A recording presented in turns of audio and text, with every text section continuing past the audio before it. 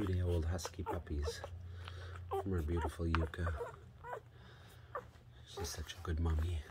Then you got these little porkers that are just sleeping away. Oh, so cute.